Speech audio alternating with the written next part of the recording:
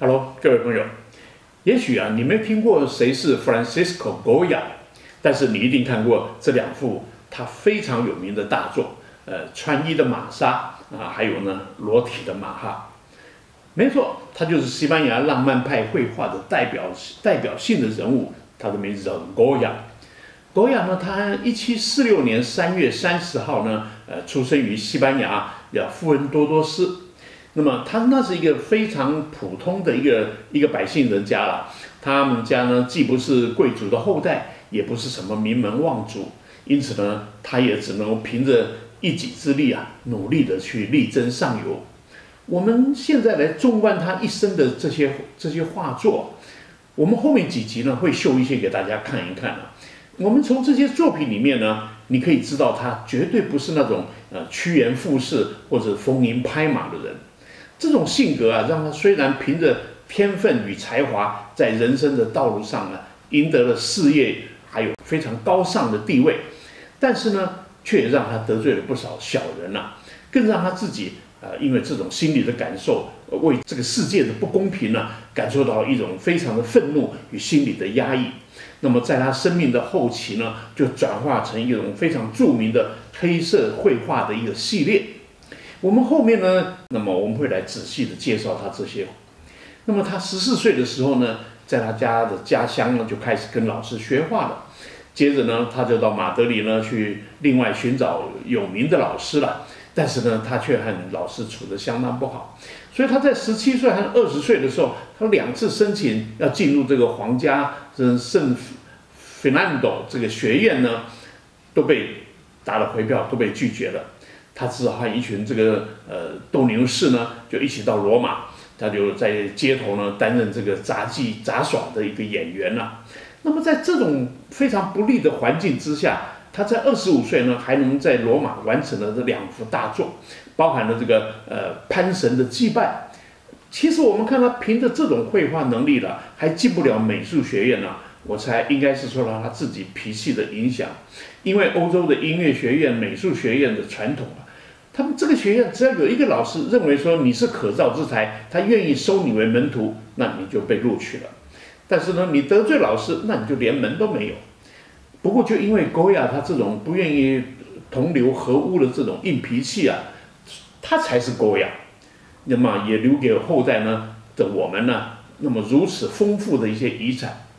那么后来他回到马德里以后呢？狗雅很辛苦的，就从设计地毯的这个基层呢，就开始慢慢的做起来。那么西元一千七百七十七年，三十一岁的狗雅，他应该还是涉世未深呐。年轻的他，当然也会想着和心爱的姑娘一起看看星星啦，看月亮啦，啊，或者从呃一些诗词歌赋啦，聊聊一些人生的哲学。他也很和一般人一样，他也希望儿女双全呐，其乐融融。那么这个时候的勾亚，他所画的，譬如说这一幅阳伞，他心中的歌颂的就是那种青春，还有那种美丽。到了他三十三岁那一年呢，勾亚就受到国王查理三世的接见了。在这个以后呢，勾亚他就逐渐在官方的领域呢就混出了名堂。三十九岁呢，他就担任了皇家圣费南多学院的这个副院长。他就是他当年考不进去的学校啊。哇，这个命运真的是很捉弄人、很讽刺的。而且在一七八六年四十岁的时候呢，他就熬成了西班牙王室的宫廷画家。那么逐渐的就走上他人生的巅峰。我们常常会说啊，人不招妓啊是庸才啊。其他的画家因此呢非常嫉妒他。眼看着前几年他还进不了学校的这个高呀，现在竟然平步青云的上升了，当了校副校长了，心里说有多怄就有多怄。刚好这个时候呢，国王就指定他要制作一个描绘说有趣的乡村场景这样子的一个挂毯。于是呢，国雅就卯尽全力的在一七九一年就画了一幅婚礼啊，就描述了乡间的婚礼了。他要让那些记录他的那些画家全部给我闭嘴。但是这个时候啊，他已经看尽了这个官场这个腐败和还有这个虚伪啊，他心里的良知还有良能啊，已经被激发了出来。他说啊，我痛恨这些贵族贪婪的享受，不知人间疾苦。